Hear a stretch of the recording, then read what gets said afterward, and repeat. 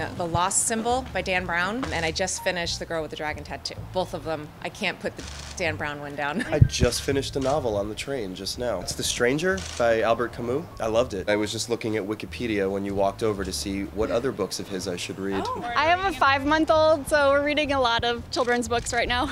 Goodnight Moon is a favorite. There's one that's called Mommy Hugs and Daddy Kisses. It's really cute. There's a book I just read, I think it's Three Americans in London. It's just, uh, about uh, World War II, Edward R. Murrow and those guys and what they did with Churchill. I just read, I read Riding the Bus with My Sister.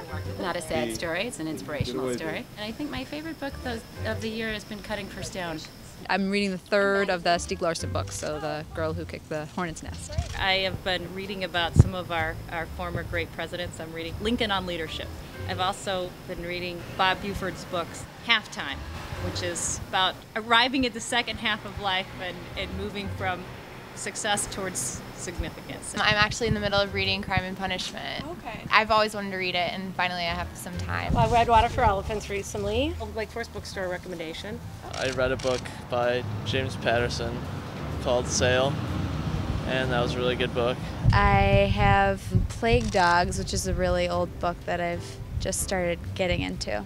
You know, I read the trilogy, and I cannot even think of the man's name from Sweden. The girl with the dragon tattoo, Yeah, yeah. and the girl who played with fire, and I, I loved it. And it's just a shame the the man has uh, passed away. Well, currently I'm reading Patron Saint of Liars, which is by Ann Patchett. I love all of her books, so I'm just kind of following the next ones that she's coming out with. Yes, I am in a book club and I'm reading Her Fearful Symmetry by a woman from Lake Forest. Have you read that?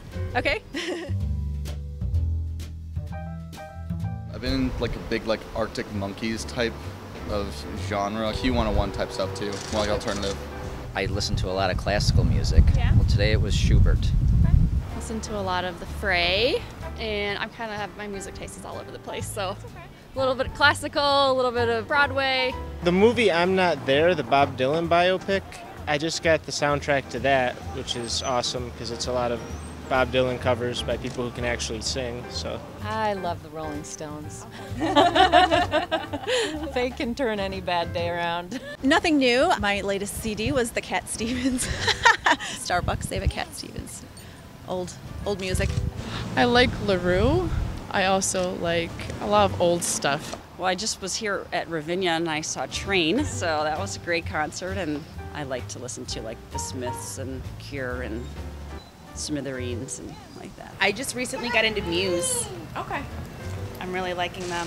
I listen to everything from like Boston to Creed to Def Leppard to Kanye West, everything. Oh. Spent a night at Ravinia night before last, and it was wonderful. Okay. Who Who'd you did you see? see? It was the Illinois Symphony doing Tchaikovsky. Oh. Like Tribe Called Quest. I listen to a lot of Tribe Called Quest, anything in that kind of a genre of rap before it kind of got violent and and not really fun to listen to. I really like Kid Cudi. He's coming out with a new album soon in this fall, so I'm looking forward to that. I listen to a lot of underground metal, Knockmistium. Yeah, they're out of Chicago. A lot of bands out of Chicago. I do artwork for, for bands in Chicago, so that's pretty much, I listen to that to get, you know, motivated, get good ideas and stuff like that. I have been listening to Vanessa Williams, The Real Thing.